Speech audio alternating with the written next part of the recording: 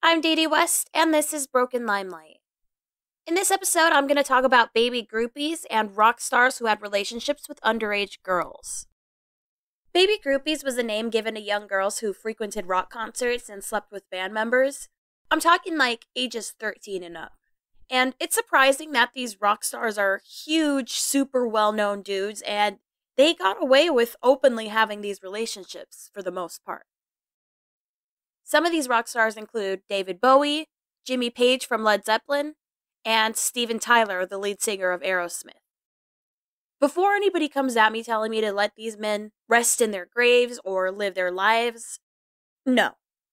These men are pedophiles, and I don't think we should idolize them or glorify them. I admit I'm a huge classic rock fan, and I've been a fan of some of these guys on this list, but I don't want to idolize these creeps. In the words of Bailey Sarian, get better idols. And to be honest, the more I learn about them, the more I just can't even enjoy their music. I don't really get it when people say things like, I can separate the artist from the music. Like that's something to be pr- proud of. But we can agree to disagree on that one. So I'm sure it's not a huge surprise that some rock stars had their share of sexual conquests with young teenage girls. Somehow, most of these guys managed to get away with it and with sleeping with girls much younger than a lot of us might have expected. So, first, I'm going to tell you about two of the most famous baby groupies because they were pretty much famous. Their names are Lori Mattix and Sable Starr. So, Lori Mattix, she started off as a model in a magazine called Star Magazine. Star Magazine basically had basically preteen girls, like 12, 13 year old girls, and they would like vogue them up, dressed head to toe in designer clothes, and they would have their makeup and hair all done. They basically made them look like 20 to 30 year old models. Lori Mattix and Sable Starr went to middle school together and they were friends. Sable Starr was a well known groupie. She was pretty well known among the stars, and Lori was fascinated by this. She was quoted as saying, Sable Starr lived to fuck rock stars. She was so glamorous, totally one of a kind, wearing scarves for shirts and going topless without hesitation. So Lori started tagging along with Sable to go to the clubs and meeting the rock stars, and it wasn't long before she got noticed as well. Lori has stated that she lost her virginity to David Bowie when she was 14 years old while he was in his 20s. According to her, Bowie initially pursued her and she rejected him. She said, I had not yet turned 15 and he wanted to take me to his hotel room. I was still a virgin and terrified. I had probably kissed boys by that point, but I wasn't ready for David Bowie. Then a few months later, David Bowie saw her and asked her out again, and this time she said yes. At the time, Sable Starr had been dating Iggy Pop, but apparently she said she had been dying to fuck David Bowie. So Lori says that they both went over to his hotel and Lori and David Bowie got into the bathtub and he took her virginity. Then afterwards they went and got Sable and they went into the bedroom and they had a threesome. Lori's actually better known for another relationship that she was in with guitarist from Led Zeppelin, Jimmy Page. According to her, he actually kidnapped her at one point with the help of his manager. What happened was I was kidnapped, literally, and um, he told me he was going to be with me, and I said, no, he wasn't. And he said, yes, I am. And then we all ended up at the Rainbow. And we were at the Rainbow, and Richard Cole says to me, get in the bloody car, and if you move, I'll have your head. And next thing you know, we're at the hotel. I'm walking down the hall. Next thing you know, I'm pulled into this door, and there I was basically kidnapped, and I turn around and look, and there's Jimmy sitting in the corner of the room with a hat and a cane, saying, I told you I'm going to have you. If you're a Led Zeppelin fan, that manager, Richard Cole, was also the one who was responsible for the famous shark incident. The rest of that interview is kind of weird. She goes on to say that he would keep her locked in a room with his security and that she wasn't really allowed to go very many places but while she's saying it, she's like giggling and chuckling. And then at the end of the interview, she's like, it was beautiful. Eventually, Jimmy started sleeping around, and Lori walked in on him having sex with Bebe Buell. Bebe Buell is another really famous groupie. She's better known today as Liv Tyler's mother. Sable Starr, like I mentioned before, dated Iggy Pop. He wrote a song about her called Look Away. Some of the lyrics say, I slept with Sable when she was 13. Her parents were too rich to do anything. She walked her way around LA till a New York doll carried her away. Iggy Pop is about 10 years older than Sable. She's also known for having a relationship with Johnny Thunders from the New York Dolls. She was 16 at the time, and their relationship was very toxic and abusive. She said, After I was with him, I just wasn't Sable Starr anymore. He really destroyed the Sable Starr thing. He made me throw away all my diaries and all my phone numbers down the incinerator, and he ripped up my scrapbook. Johnny Thunders was really abusive, and he was also a really jealous guy. He would have these drug induced fits of paranoia and beat her senseless. So one day they found out that Sable was pregnant, and Johnny proposed to her. But Sable realized what her future would look like, so she actually snuck off and she decided to leave the groupie world behind. Sable had been a groupie since she was about 12 years old. Steven Tyler was another rock star that had an inappropriate relationship with an underage girl. Julia Holcomb had just turned 16 years old when she went to an Aerosmith concert and she met the lead singer, Steven Tyler. Before she met him, she didn't have a very happy life. Her father had abandoned her mother early on, and her younger brother died in a car accident when she was 13. So she was in a pretty vulnerable place when she met a 24 year old groupie who groomed her and dressed her in revealing clothing and helped her sneak backstage to this Aerosmith concert. Julia had said, I went to the concert hoping to meet Steven, and after the concert, we met for the first time. At that time, I thought he was the best thing in my life. My sad, vulnerable story, as well as my youth and personal attractiveness, captured his interest. Shortly after the concert, she left with him to Boston. Steven Tyler then contacted her mother and got her to sign over guardianship to him. Julia was in disbelief. She could not believe that her mom actually did it, so she asked him, How did you get her to do it? And he said, I told her I needed them to enroll you in school. Julia says that she remembers feeling vulnerable knowing that she was under his control at this point. The two of them ended up getting pretty serious, and apparently they wanted to have children. Julia said, I wanted children and began to believe he must truly love me since he had made himself my guardian and was asking to have children with me. He threw my birth control pills off the balcony of the hotel where we were staying into the street far below. Within a year, I became pregnant. I had never been pregnant before, contrary to what Steven has written. Steven proposed to her and they were engaged, but apparently Steven's father thought that she was too immature to be his wife and his grandmother didn't approve of it either. So he ended up breaking it off and she felt totally betrayed. She had said, For the first time, I realized I should not have been foolish enough to conceive a child outside of marriage with a man who might not be interested in a lifelong relationship. His guardianship of me complicated things further. I was subordinate to him as in a parent relationship, and I felt I had little control over my life. In the fall of 1975, Steven went on tour and left Julia in the apartment alone. He gave her a little bit of money, but it wasn't enough for her. So she called him and told him that she needed more money to get groceries. And he told her, Don't worry, I'll send Ray over tomorrow and he'll take you grocery shopping. Ray was somebody who had been in his band in the past and was now kind of like a an assistant guy. He just was he was like a roadie. He did a bunch of stuff to help out with the band. So the next day, I, I guess she was really excited because she had been alone in that apartment for weeks and she was just really excited to go somewhere and get out of that place. So she says that she was sitting on the couch just excitedly waiting for him and he finally showed up and she let him in and he offered her a line of cocaine. She says that that was strange because she was seldom offered cocaine. But she took it and she says that she stood up and was like, okay, let's go. And all of a sudden, she got hit with this wave of sleepiness. And she says that she, she couldn't fight it. She was like, okay, I need to lay down for a minute. And then she passed out.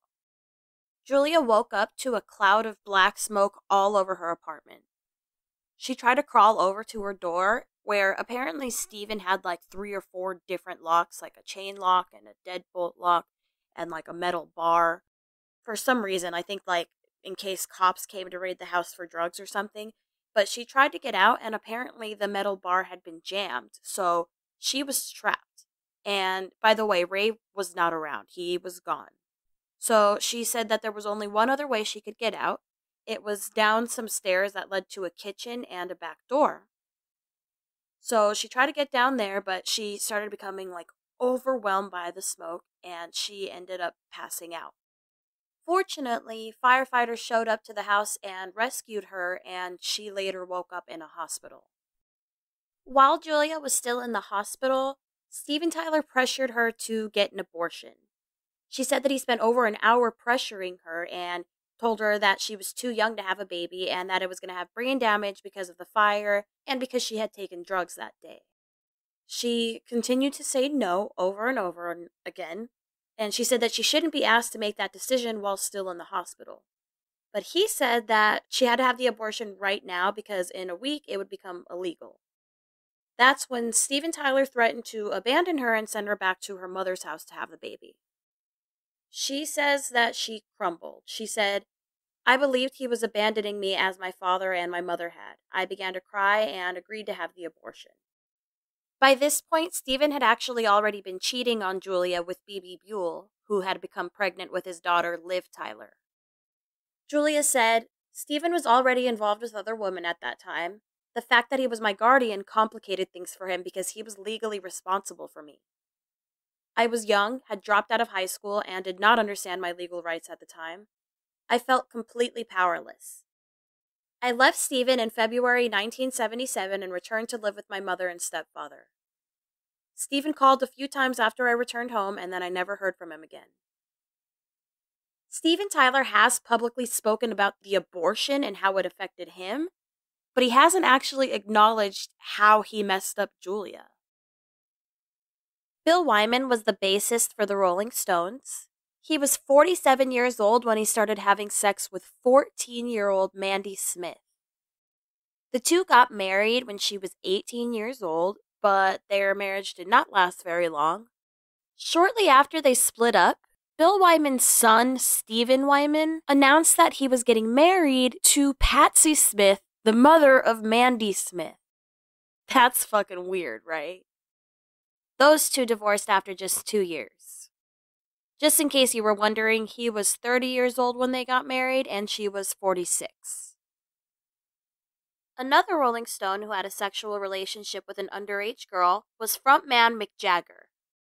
He had a two day fling with 15 year old budding actress Rae Dawn Chong while his wife, Bianca, was out of town. Rae Dawn Chong is the daughter of Tommy Chong, by the way. Mick Jagger was also mentioned in Mackenzie Phillips' memoir, Mackenzie Phillips was the daughter of the rock star John Phillips from the Mamas and the Papas, who, by the way, the two of them had an incestuous relationship. If you haven't listened to episode one, go listen to that one.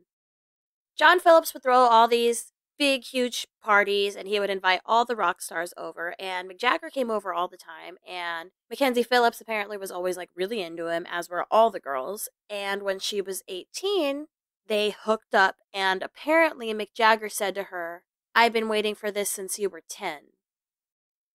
Jerry Lee Lewis was a rock and roll pianist who was famous in the 50s.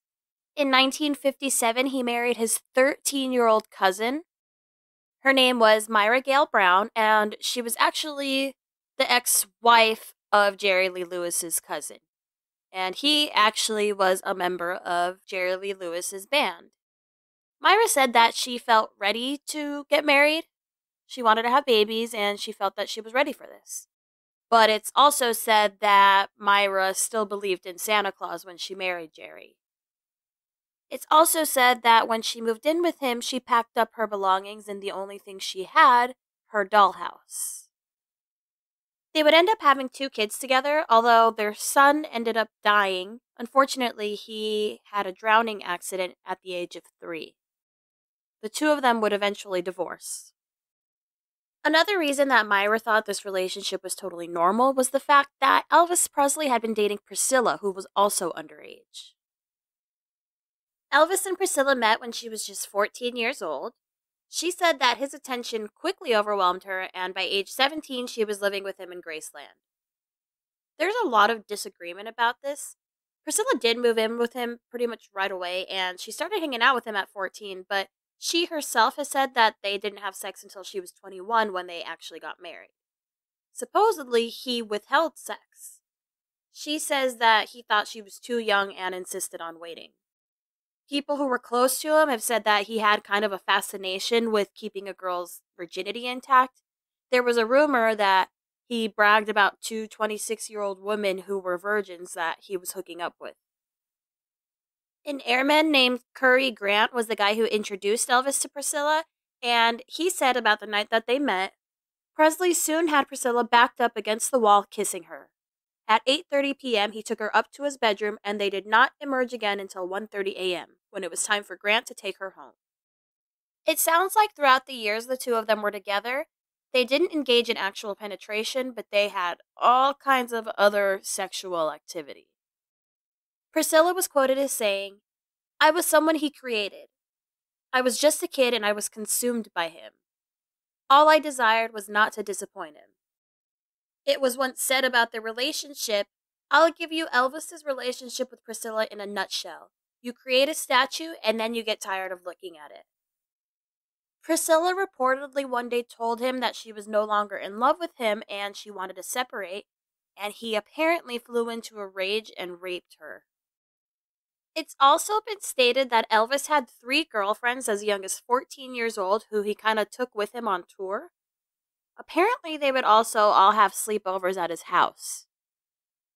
These girls were named Frances Forbes, Gloria Mowell, and Heidi Heisen.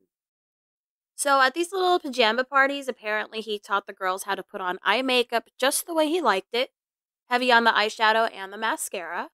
And then they would kind of have like little tickle fights and they would kiss. And apparently sometimes it went a little bit past kissing.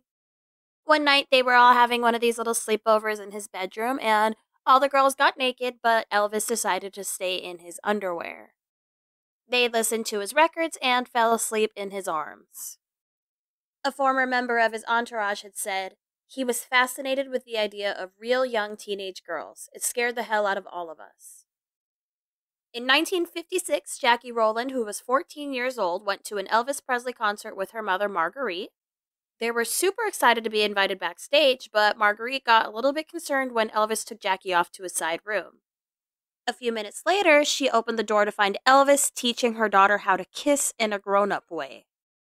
He apparently asked her if he could take Jackie to a bar, promising to take really good care of her. But Marguerite had seen enough.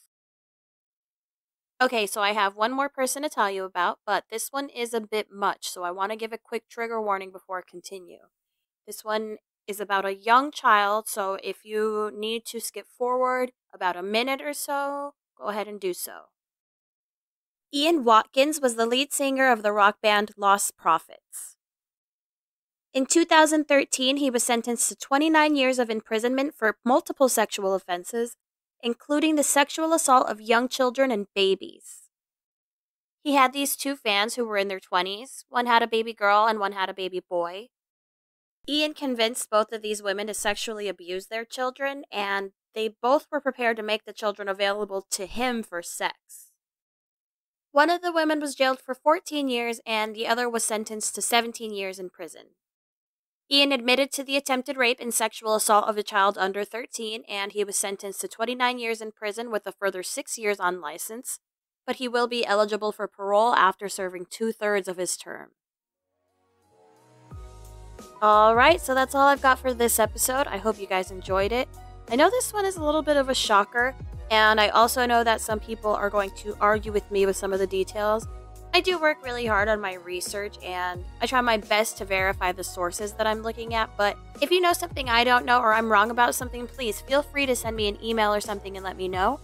You can contact me using the website brokenlimelight.com or you can just shoot me an email at ddwest at brokenlimelight.com. Don't forget, you can always contact me to suggest a case that you'd like me to cover.